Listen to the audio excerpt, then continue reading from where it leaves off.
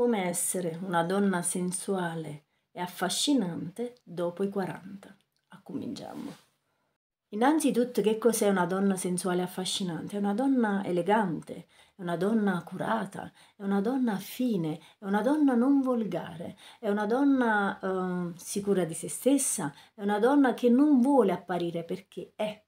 È una donna che non ha bisogno di aprire la macelleria per farsi guardare, perché quella donna, basta che passa, pure se è vestita con un jeans, tu ti giri e la guardi perché si veste della sua personalità.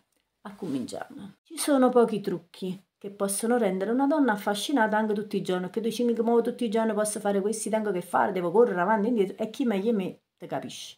Allora, la prima cosa sicuramente è curare i capelli.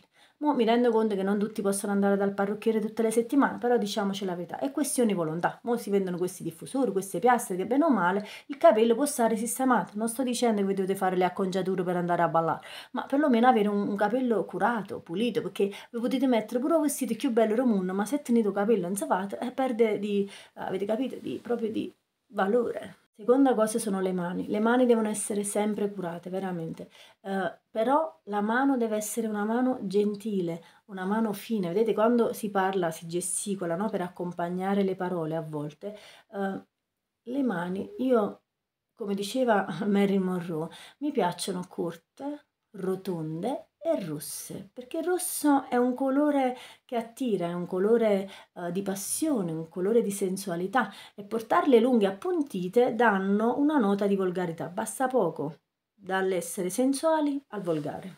Terza cosa, le scarpe. Sicuramente indossare delle scarpe che siano, come dire, adatte alla nostra età.